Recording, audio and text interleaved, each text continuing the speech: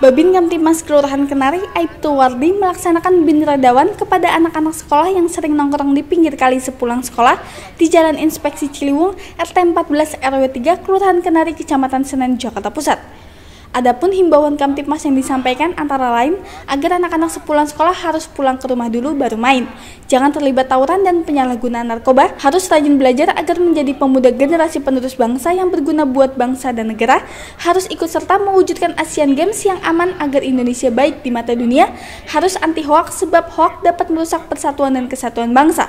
Sikim biar aman ya. Ya, benar. Kalau Sikim aman kan Indonesia jadi baik kan? Ya. Masuk di Indonesia rusuh. Betul, betul. Baik aja. Jadi jangan sampai Sikim ini tidak aman. Kita salah menjaga. Wah, KRI nanti oh Hoax. hoak merusak Segalanya nih. persatuan dan kesatuan. Oke, makasih ya. Ya. Salim, salim, salim, salim. Demikian dilaporkan oleh Babin Kamtimas Kelurahan Kenari, Aibtu Wardi, salam sejahtera.